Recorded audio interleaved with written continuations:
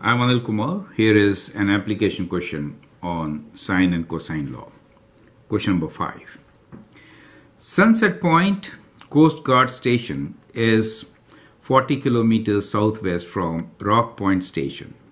At midnight, both stations pick up an SOS radio signal from a ship in distress at point D. The bearing from Sunset Point is 10 degrees east of north and the bearing from Rock Point is 70 degrees west of south. If rescue boat from Rock Point can make 12 kilometers per hour and the boat from Sunset Point can make only 8 kilometers per hour, which boat will get to the point D first? What is the difference in times? Now this is a very important question. I'd like you to pause the video, understand, make a sketch and then solve. Now we are given directions uh, which are southwest. So let me sketch this.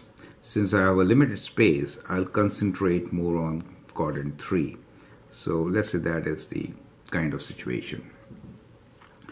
So what we're given here is Sunset Point Coast Guard Station is 40 kilometers southwest from Rock Point station. So let's say Rock Point is at the origin, okay?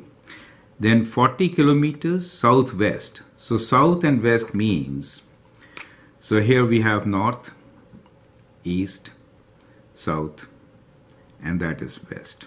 So when we say southwest, then that means 45 degrees in this particular direction. Is that clear?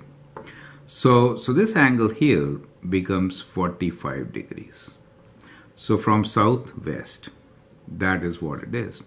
And 40 kilometers, so let's say this point here is 40 kilometers away. So I'm just writing 40 kilometers here. Is that clear? Now, at midnight, both stations pick up an SOS radio signal from a signal from a ship in distress at point D. The bearing from sunset point is, so we'll call this as sunset point and that is the rock point R north 10 degrees east. So how do you sketch this spot? Just try to understand, right? So I'll again draw my coordinate axis here. So when we say north 10 degrees east, normally we'll read 10 degrees east from north. So 10 degrees east from north, let's say that much. So it is somewhere in this direction. Is it okay? So that is what it means. And the bearing from the rock point is, so let me use another ink. Bearing from the rock point is 70 degrees west of south. So from here, 70 degrees west means kind of like this. So somewhere here. Do you see that part? So that is the situation. So what we have here is a triangle and that point is the location from where the distress signal has come. We'll label this as D mentioned here. Now work on the angles. Now since this is 70 degrees, the big angle, the smaller one is 70 minus 45. So this angle is how much? It should be 70 degrees minus 45 degrees, correct? Which is equal to, so, so you get 5 and 6 take away 4 is 25 degrees. On this side, what we have is a right triangle, but we know this is 45 degrees. Southwest, this is 10 degrees, correct? So we're left with 45 minus 10. So this angle here is 35 degrees. So I hope these calculations are clear to you. Now we can also find the angle at D. You can use your calculator. Sum of angles is 180 so 180 minus 25 minus 35 gives you 120, correct? So, so that becomes 120 degrees. So I hope the angle calculations are clear. Now, we know a combination of angle and a side, so therefore I can apply sine law. Perfect. So I'll apply the sine law.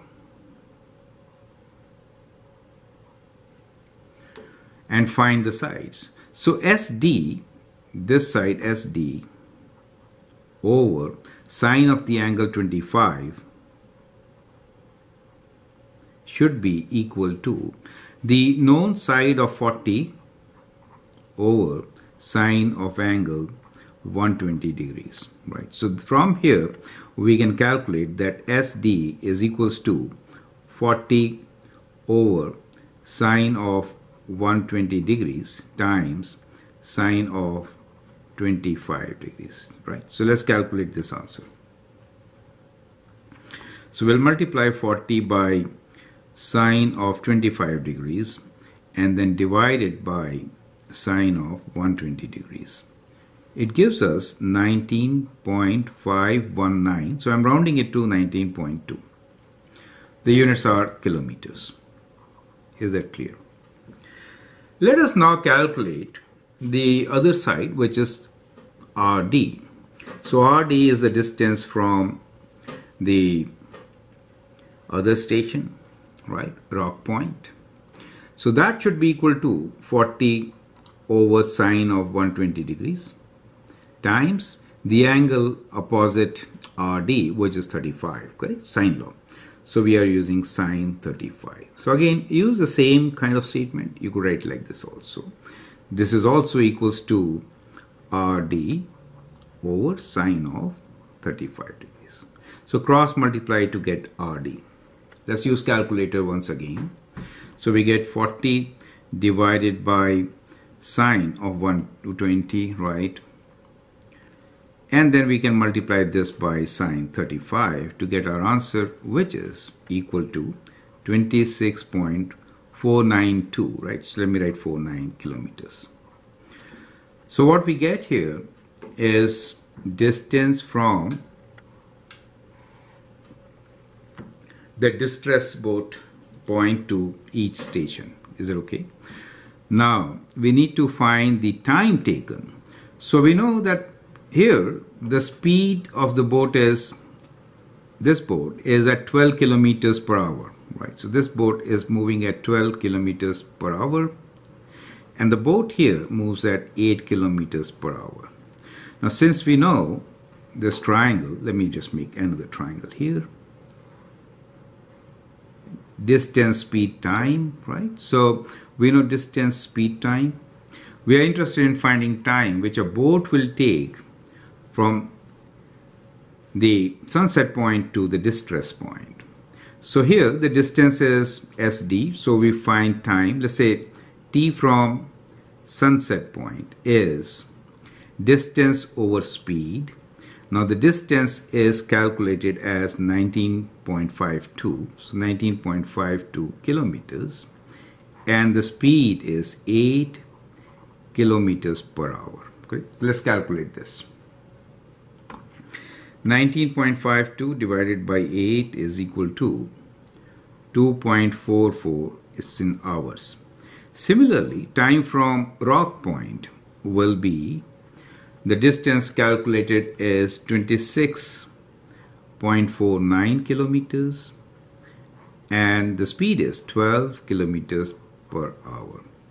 So this ratio is 26.49 divided by 12 is 2.20. So let me write 2.2. 2.2 hours.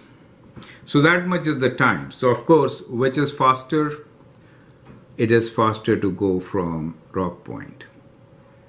So we get rock point is faster.